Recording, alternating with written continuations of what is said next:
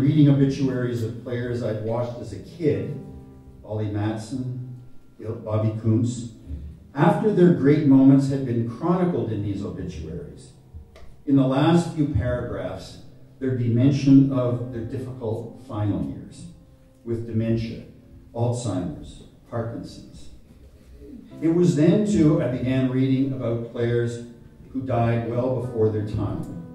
Mike Webster, Bob Probert, Junior Seau.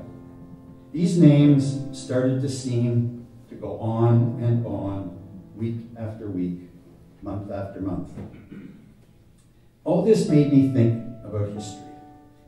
I'd been a history major in university, and about all the big questions that we'd gotten wrong in the past. Slavery, the absence of women's rights, and about some of the more current issues like tobacco, lead, asbestos, drinking and driving, and how many times I'd wondered about the people of those times. How could they have gotten it so wrong? How could they have been so stupid? But then, also thinking that about 25 or 50 years from now, how will people look back on us and, and, and think about something? How could they have been so stupid? But about what? We'll always get some things wrong. But what are the big ones? The ones we can't get wrong? In hockey and sports, I think it's head injuries. I think people in the future will look back on us and say, how could they have been so stupid? What becomes the new instrument that is the most dangerous instrument on the ice, it's no longer the stick. It was always the stick. That's what you always feared, that the players would lose it, use their sticks on their opponents, and, and it's like clubs and the injuries that could follow. The most dangerous instrument on the ice is no longer the stick, it's the moving body. That's the, the, the dangerous instrument. It is when you've got a body that's a couple hundred pounds and moving at that particular speed because you're moving at that sprint speed and you collide. And if you collide with the most vulnerable part of your opponent, which is the opponent's head, then the rest becomes the real problem. For us, we think awareness is enough. We hope it's enough. It has to be enough.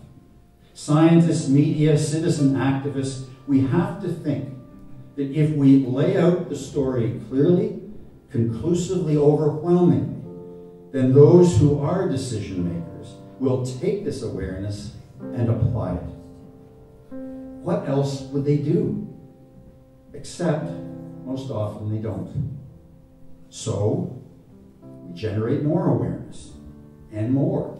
We build a mountain of awareness so high it is unmissable, impossible not to act upon.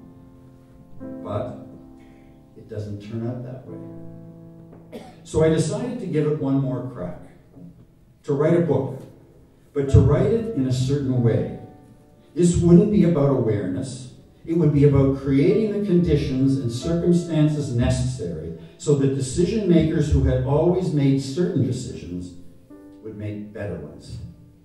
That's what game change is about.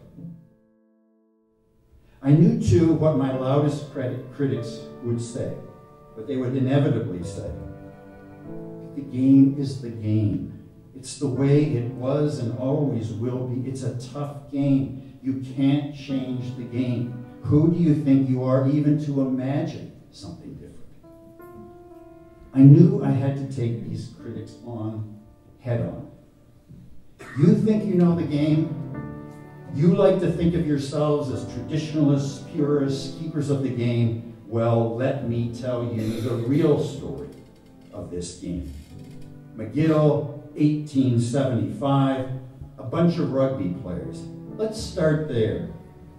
And let's trace the story of this game that can't change because, of course, you can't change the game. And, oh, by the way, did you know that for the first 50 years of this game that can't change, until 1929, you could not pass the puck forward?